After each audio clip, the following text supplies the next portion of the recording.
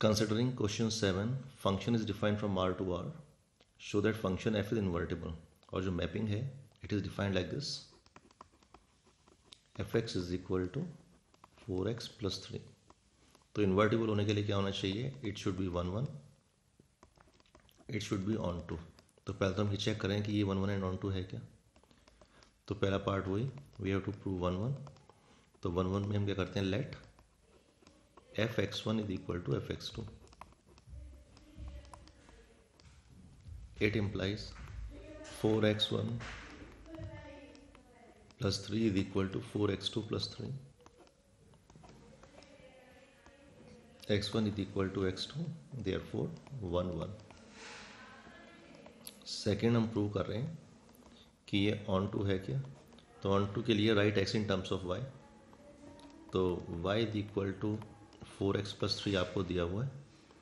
इसका मतलब four x is equal to y minus three या x is equal to y minus three upon four तो हम ये कह रहे हैं वाई की हर रियल नंबर के लिए will be having a x so that means y is equal to को domain so that mean it is onto तो वन वन और ऑन टू तो आपने प्रूव कर दिया। अब वो कहता है कि शो करिए inverse of f that means g function निकालिए। ये फ़ंक्शन निकालिए। ये जो फ़ंक्शन है तो शो करना है कि इट ये फ़ंक्शन आ गया इन्वर्स आ जाए फ़ंक्शन ओके तो ये एक्स लिखा हुआ है बेसिकली क्या लिखा हुआ है? It is g y correct तो फिर वही चीज़। पहले आप चेक करेंगे, इसके लिए गॉफ एक्स निकालेंगे। जी ओ एफ़ एक्स तो इसका मतलब जी इनपुट क्या ले रख, ले रहा है? एफ़ एक्स एफ़ एक्स क्या? Four x plus three that means g of four x plus three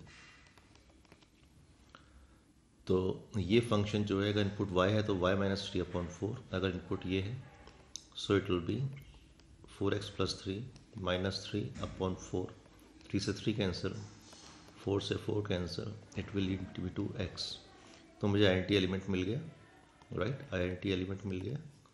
similarly second हम निकालते हैं यहाँ पे fog y fog y means f of g y So f will take input as gy instead of x. And what is gy? It is y minus 3 upon 4. यही तो है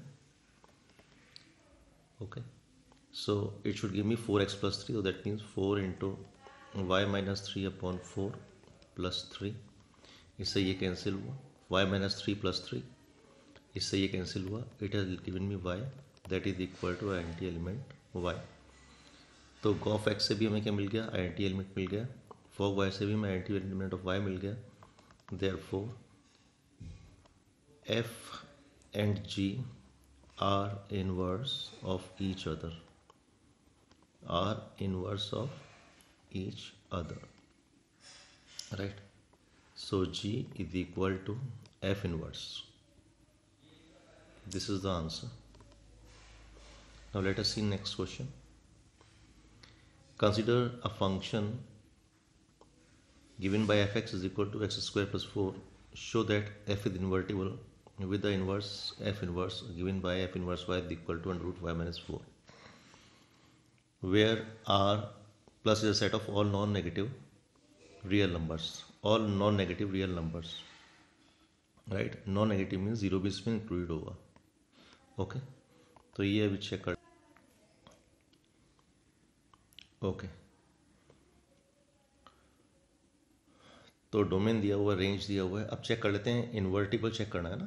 तो सबसे पहले हम चेक करते हैं whether it is one one whether it is one one right तो फ़ंक्शन क्या है? F x is equal to x square plus four okay तो फिर वही कहानी let f x one is equal to f x two f x2 it implies x1 is square plus 4 is equal to x2 square plus 4 4 से 4 cancel. It means x1 square minus x2 square is equal to 0 it implies x1 minus x2 into x1 plus x2 is equal to 0 is equal to 0 it implies x one is equal to x two and minus x two right but हमें क्या दे रखा है? जो हमें, यहाँ पे तो दो वैल्यूज़ आ गई x two and minus x two पर जो हमें यहाँ पे डोमेन दिया हुआ है all non negative real numbers so that means we don't have negative real number over here so that means x one is equal to x two so it is 1 1 पहली चीज़।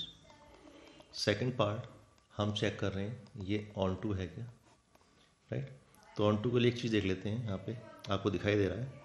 जो है y is equal to x square plus four है। Definitely जो x square it is greater than equal to zero that means y is greater than equal to zero plus four so that means y is greater is equal to four that means ये तो आ गया Y का value four से लेके infinity तक। Right?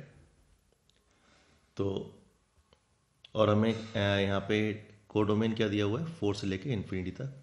There four ये जो y है that is equal to range so range is equal to codomain therefore function is onto तो जब ये वन वन भी है ऑन टू भी है तो definitely it will have inverse so we have to find the inverse तो inverse निकालने के हमें क्या करना है? Again we have to write x in terms of y और जो फ़ंक्शन आएगा that will be g y फिर हम गॉफ एक्स निकालेंगे और फ्लॉग वाई निकालते हैं, ठीक है? So let us do it just now okay तो हमें फ़ंक्शन दे रखा है एफ़ एक्स एफ़ एक्स दे रखा है हमको x square plus four x square plus four right so that means y is equal to x square minus 4 square is equal to y plus 4 right so x is equal to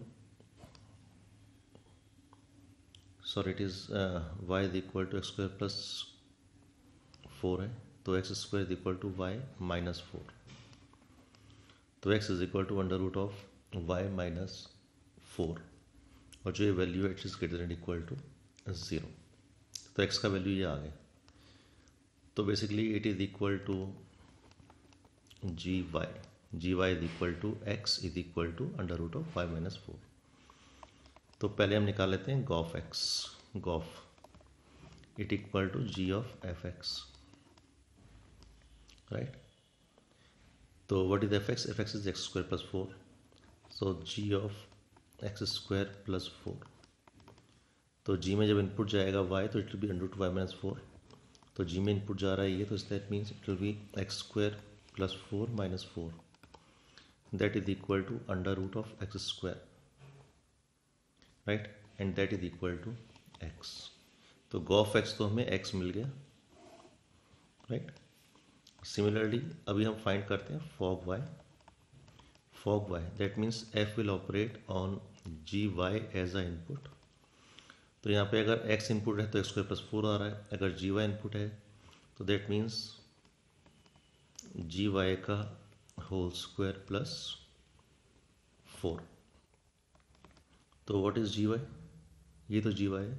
So that means under root of y minus four का whole square plus four that is equal to y minus four plus four and that is equal to y तो हमें यहाँ पे भी आई element मिल गया. तो since g o f x is equal to I element of x and f o g y is equal to id element of y.